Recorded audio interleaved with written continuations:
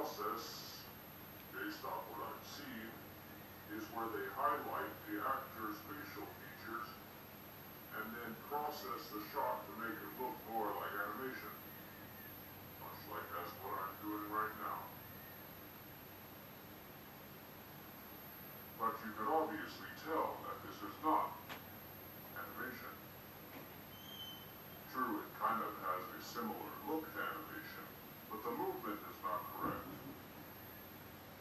colormation does not flow quickly with fluid motion.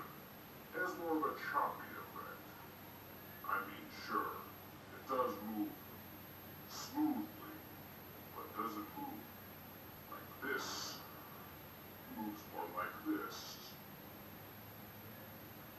Or maybe I'm just more of bullshit.